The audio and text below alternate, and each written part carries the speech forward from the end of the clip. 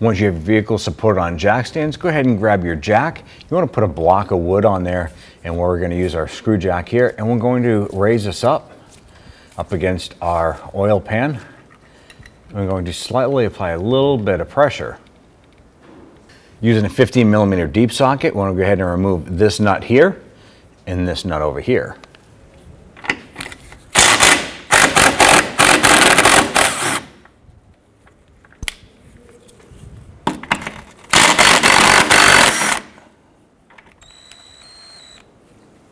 Using a 15 millimeter shallow socket and swivel, I'm going to remove this bolt up here and one just behind it.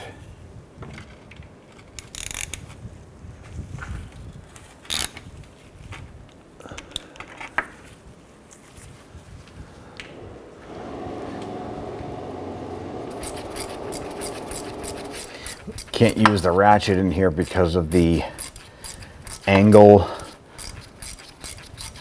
kind of limits the amount of space.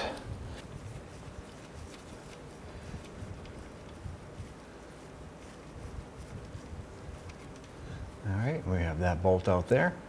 Between the passenger side lower control arm and the subframe, we're going to come up here just below the crank shaft pulley, and there is a 15 millimeter bolt. We're going to use our deep socket, and we're going to loosen this and remove it. And get that bolt out.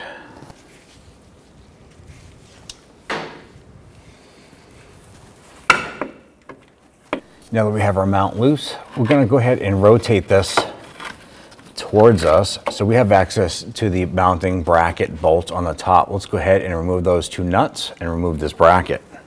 Using a 15 millimeter deep socket, let's go ahead and remove these nuts.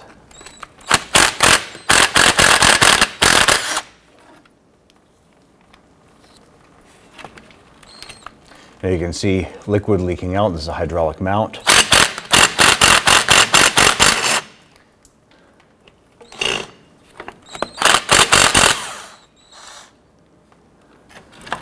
Pull our bracket off, set that aside.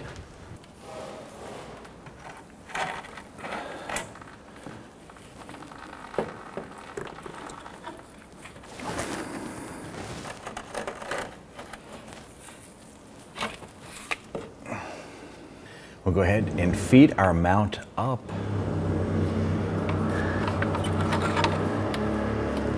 At this point here, we want to go ahead and install our bracket.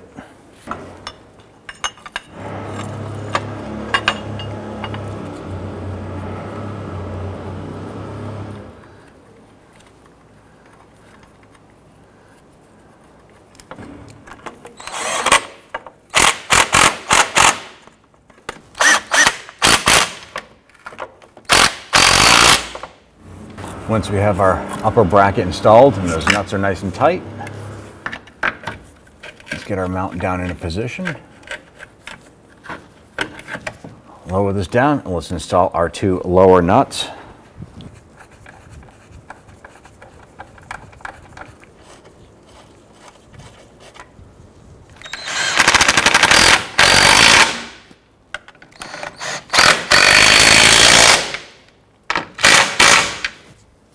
Now we can go ahead and lower our engine down onto the mount.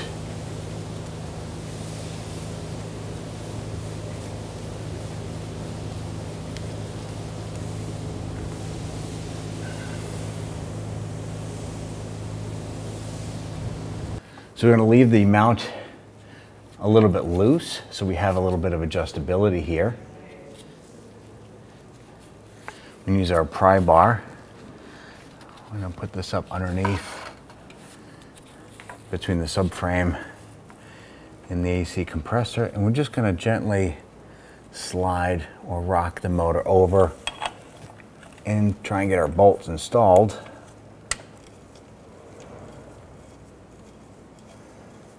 Get that one installed there. Let's go ahead and install our one beside it.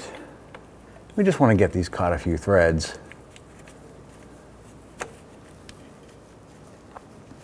At this point, I'm going to go ahead and lower the engine back down until we can get our bolt hole lined up with the front of this mount.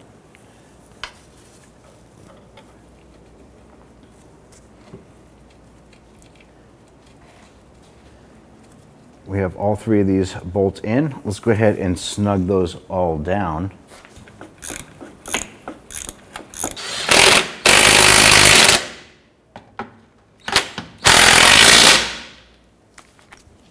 Tighten up the mount to motor bolts here.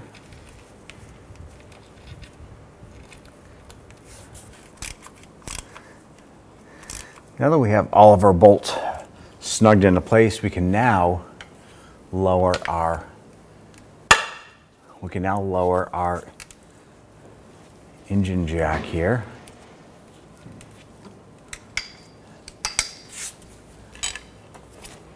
Now the three bolts for our bracket to motor should be torqued to 43 foot-pounds. If you have the ability to do so, go ahead and torque it.